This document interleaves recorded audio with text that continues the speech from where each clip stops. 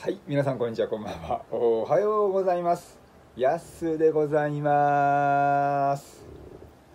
白血病と予防生活の気晴らしいね、自宅から動画を配信していきます。えーこの動画でね、白血病や癌になってしまったたくさんの患者さん、そしてそのご家族、お友達が元気になってもらえますように頑張っていきます。えーそして皆さん、この動画配信をきっかけにですね、ぜひ献血骨髄バンクにご協力ください皆様の血液が必要です。日本全国世界中で YouTube を見ている皆様どうぞよろしくお願いいたします。はい。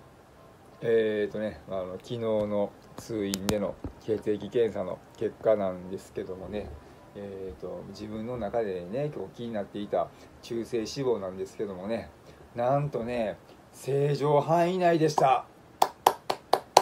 すごい。はすごいですねほんまに。ねいやでもねほんまにいやなんて言うんでしょう。頑張った甲斐がありましたよ。本当に頑張りましたからね。しかもね大幅にねガクーンとね下がってましてね。あのほんまにこの正常範囲内っていうやつのほぼ真ん中よりもねちょっと下だったので、ね、もう思わずねどんだけ我慢してたと思ってんねんってね、えー僕は結果を見てですね自分にね叫びかけてあげましたよ。もうねこの喜びは計り知れないですよ本当に。でそしてもう一つ気になっていたね悪玉コレステロールなんですけどもねこちらもそれなりに結構下がっていたんですよね。まあこれもねよく頑張った結果だと思いますけどもねしかしまだね上限を超えてしまっていたのででもまあまあいい成績を残したなと思ってます、まあ、前回がね結構超えすぎてたのがまだちょっとあの上限値までこう近づいてきてるっていうぐらいなんでまあほんまはね上限から下がってくれたらよかったんですけどもそこには至らなかったんですけどもまあでも下がってくれたのはねいいことなんでねあのほんまにいい成績を残してると思ってます。まあでもねその悪玉コレステロールが原因でねあの総コレステロールねトータルコレステロールっていうのがあるんですけども、えー、と中性脂肪もそうですし、えー悪玉コレステロール善玉コレステロールってっていうのがあるんですよ。でこいつらを合わせた数値が、えートータルコレステロール、まあ、総コレステロールというものなんですけどね、まあ、あの悪玉コレステロールが高いが原因でですねあの総コレステロールはちょっと上がってしまってますのでやっぱりねうん、まだまだ下げなあかんなっていう風な感じは思っております。でまあそうね悪玉コレステロールがちゃんと下がってくれればねあの、まあ、総コレステロールも下がってくれますのでだからこのままの頑張りをね続ければ大丈夫だとねそのはずだと思っております。はい。でそして、えー白血病細胞のね検出検出っていうのもね今ありませんでしたしね。で、まあ、今言ったね血液細胞以外のね他の血液細胞たちもですね全て正常でした。はい。でまあねあのそういうスコア的にもですねあのすごく順調にいってるということなのでねあの、まあ、次はねいよいよね免疫抑制剤のね減量のお話になってくるんですけどもね残念ながらあの減量はありませんでした。うんまあねこれはちょっと非常にね悔しいんですけどもねでも実はね少しねホッとしている自分もいてます。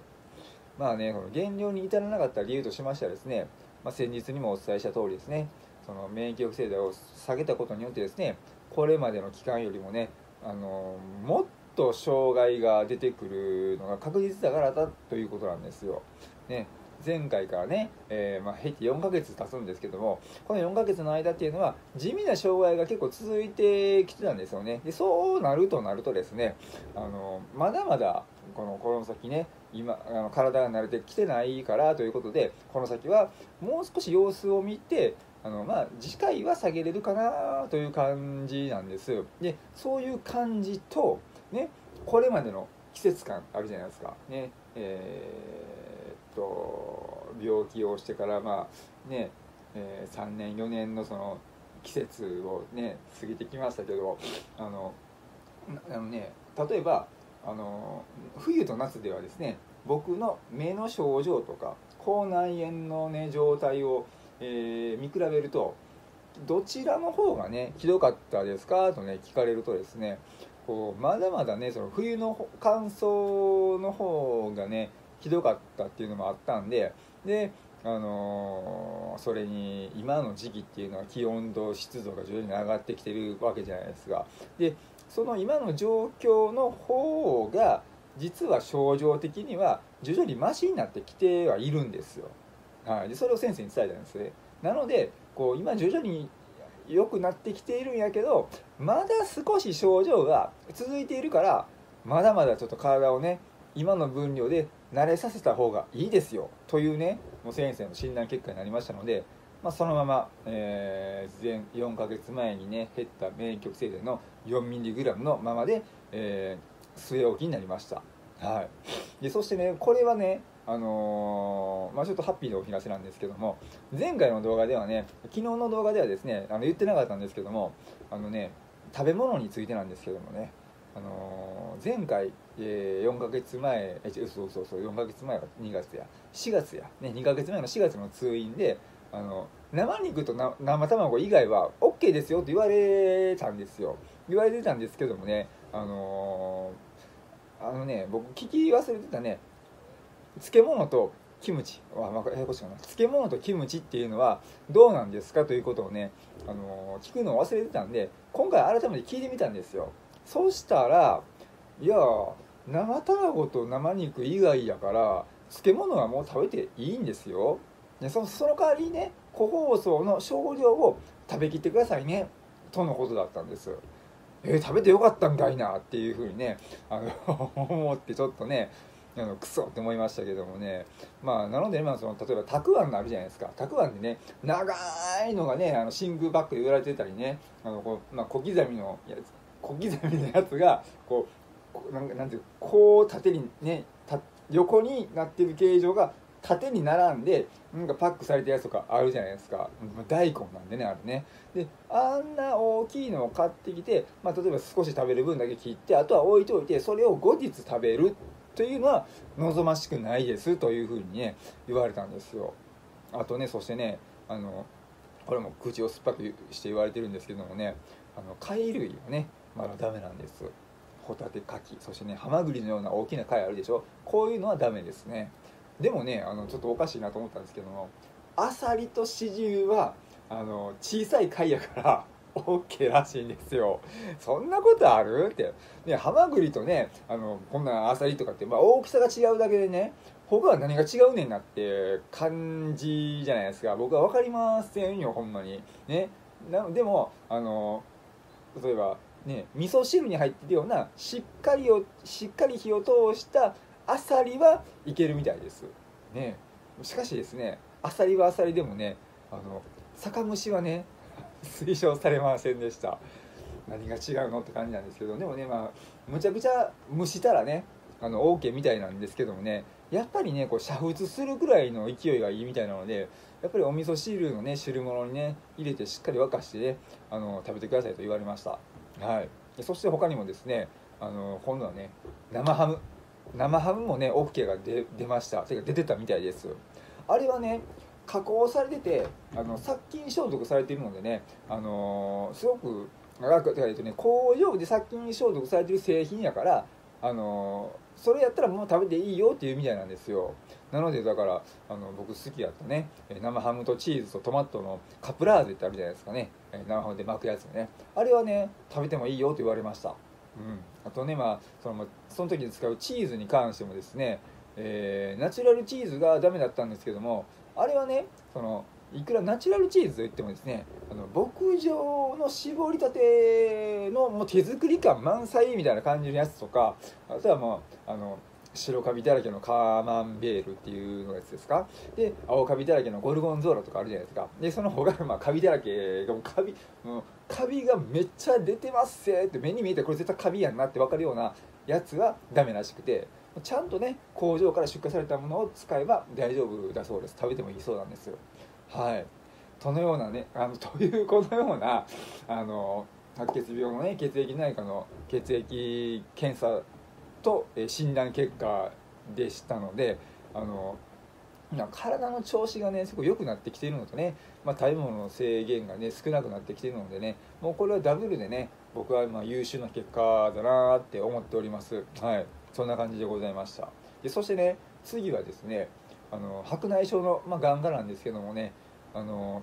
これね視力検査もね目の調子がなんか今回良かったのかですねこれまでよりもね視力はねよく見えてたんですよ。すごくいい成績を収めてたんですよね。だからね眼科の先生はねあれ今日はいつもより比べて視力が出ているし目の表面の傷もね少なかったからねなんやろうねこれね。やっぱりまあこの季節の時期の気候のおかげかなというねあの気温とね湿度が高いとねやっこんなに、えーと、目には変化があるんだなとね自分でもね改めて感じました。でも暑くなってきてるからねあのしんどいんですけどもねでもあの、まあ、それはしゃあないなって感じなんですけども。でそしてね、まあ、今回この視力が上がってきてたということでねやっぱりね白内障の手術はね止められました、うん、あのねこれはね、えー、白内障のね、まあ、規模もね今僕小さいままやしね、えー、そそこからも全然進行してないしでそれにね、えー、白内障だけが原因で視力が下がってたわけではなくて僕の場合っていうのは乾燥も原因で一時的に視力が下がってただけとねあの今回のね診察でね診断しはったからなんですよ。はい。先生がそういうふうに診断されたからなんですよ。免疫抑制剤じゃないわ。白内障を止められたの。白内障の手術を止められたのはね。でもね僕は先生にねあのすごく先生眩しいんですよ。もう視界がね白いんですわ。とね強く訴えたんですけどもね。いやあの眩しいだけでしょ白いだけでしょと言うてるようななんかこうヘラヘラ笑う感じの表情をしながらね。あまあまあまあまあまあまあとね言われながらねさらっと流されたんですよほんまに。ねくそこいつと思ったんですけどもね、まあ、なのでねその、まあ、白内障自体の白さというのはですねもうあの手術でね曇ったレンズをね人工レンズに交換しないとねこれ解消されませんけども僕の今の視力っていうのはね乾燥から角膜をね、えー、守ることができればね傷がつかなずにね、えー、済みますので、えーとね、目薬でしっかり潤しながら、まあ、角膜の、ね、成分を回復してくれるムチンという成分をね生鮮しやすくなるね、えー、ビタミン A をね僕はしっかりとっていきます。はい、えー、そんな感じでね、えー、昨日の血液検査白血病の血液内科眼科の結果でございました。今日は以上です、えー、今日も最後まで見ていただきましてありがとうございました。バイバイ。僕は元気です。